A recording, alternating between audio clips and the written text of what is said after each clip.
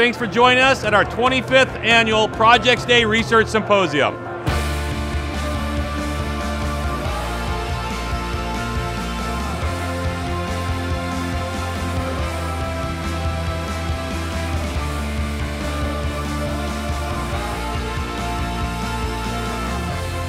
This is a special day where our cadets showcase their innovative projects ranging from engineering and cybersecurity to social sciences and humanities.